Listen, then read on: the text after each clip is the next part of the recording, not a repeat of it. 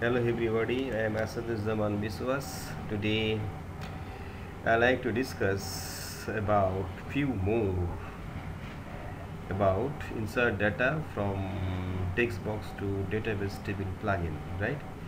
So those who not yet visit my uh, first part at I mean part 1 of uh, this topic, I will request them to Uh, visit that video. In that case it will be easier for you to understand whatever I am talking about right? So in this part 2 what I like to do I never like to let the enter the duplicate records inside the tables. So what I like to do before inserting inside this table any data I like to check that data exists inside the table or not. If not, in that case, I will let that input to insert inside this table, otherwise not, right? So what I'll do, I will write here few more codes, right? So what are the codes? Mm, hmm, yes, I will here write first a few SQL query that is select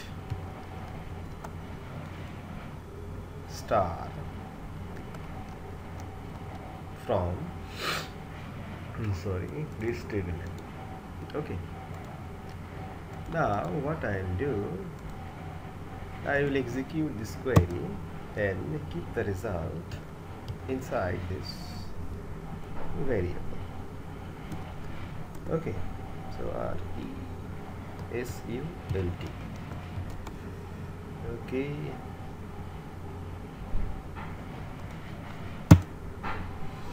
So to execute this query what I'll do I will use a method of this class wpdb that is your uh, get underscore results right? Okay. Get underscore results.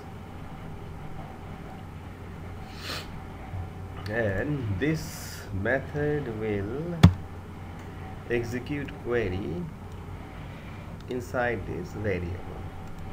Okay. And will keep the result inside results variable. Okay so I will paste it here and will check now what the result we got right? So I will use here printer function to see what is inside this variable.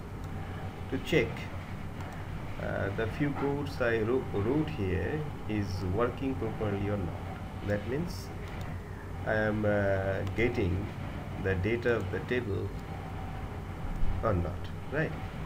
So I give here result and let me write here exit okay because right now I am not expecting to enter any data inside the inside the table. So I will give here refresh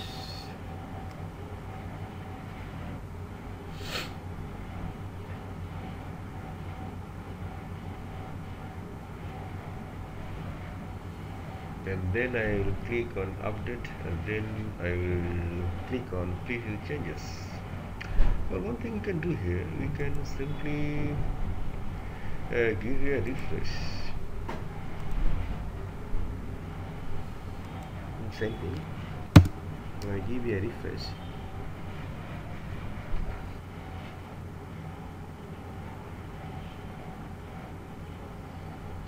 we got the result or not? Let us click on submit button and check.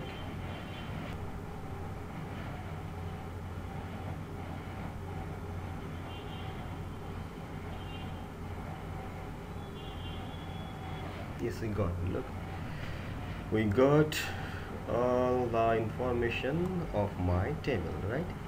Now what I'll do I'll take uh, each record one by one and we'll check first name and last name uh, with the input given by the user right? So what I can do I will write here for each loop. And we'll take one by one record from the result set and we'll compare the value of f name column and l name column with the inputs given by the user. So what I'll do here this value of this variable will be uh, stored inside this variable. That means value of this uh, variable result this variable is containing the result set and from this result set we will take each record and we will keep inside this variable results. So before comparing I just like to see here we are getting the data of columns or not. So what I will write here results and let me write down the name of the column right I can check only one that is sufficient I think. And I can give here a break so that each value come in separate line right? Okay. Mm, and I can give here exit. So up to this I will check. So let us save it and uh, go to your output. Give refresh. Continue okay no there is some error. You cannot use object of type std class as array. User I am getting some error message. So what what shall? I will I used here array now it will be object. So I will have to use this sign. Okay. So let us remove this and let's check now result okay? I will save it. And we'll go to output. We'll give refresh. Continue and let us check. Okay. Look we got the first name that means it is working fine now right? So what we will do now we will uh, check using this if statement right? If statement let us do the checking. Uh, okay avoid it. Remove it. Okay. I will compare this with this. Okay so copy it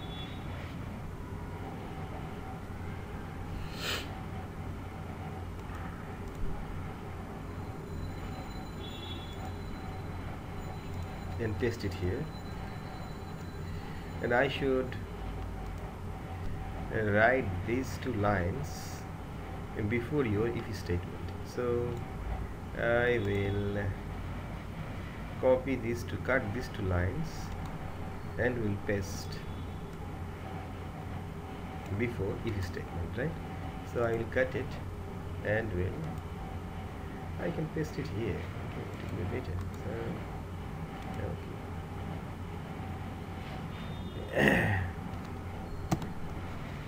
and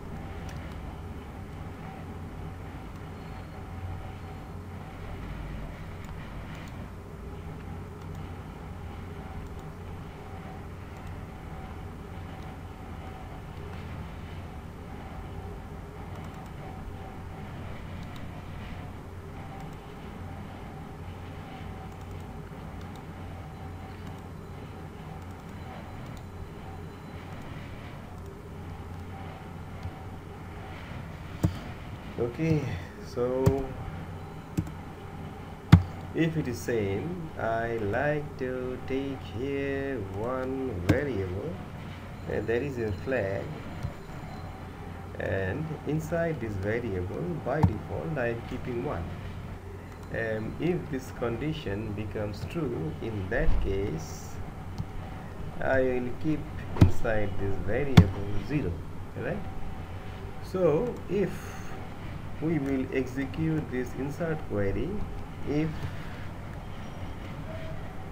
this condition is true. That means if the content of this variable flag remain 1 in that case we will insert the input inside wp underscore user info table right? So i can give here these brackets and if any case the value of flag variables becomes zero in that case we will display a message that is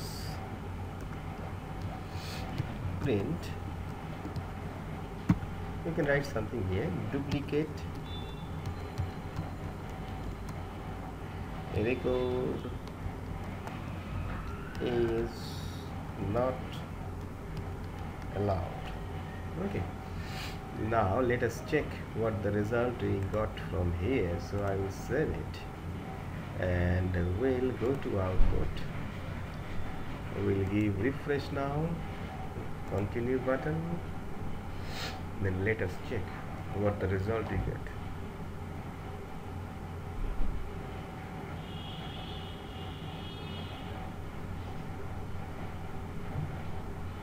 okay. Now let us give the same data we entered before right? So I wrote here this again. Okay. And I will click on submit to check what happened. Okay let us see what happened. Look we got this message duplicate record is not allowed. Now let us enter something uh, some uh, in some input which is not inside my table right? So I wrote something like this and let me show you uh, this first name and last name is inside your table or not. I click here browse and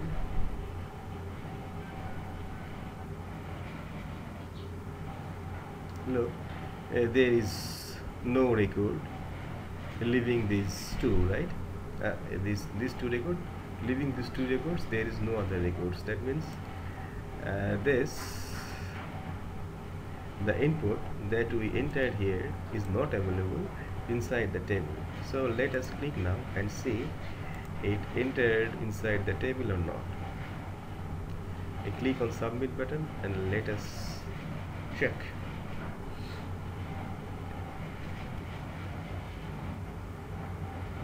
okay. Now let us go to the table and check. Click on browse.